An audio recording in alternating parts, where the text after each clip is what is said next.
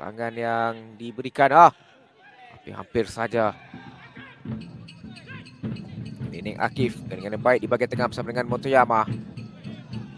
Joku untuk Julius Ziki masih lagi dalam permainan. Kini Amirul Syafiq cuba masuk ke dalam kawasan penalti. Satu tolongkan ke tengah Amirul Syafiq dan jaringan disempurnakan. Zik Supri. Gandengan yang cukup baik Haziq Supri dan juga Amirul Syafiq.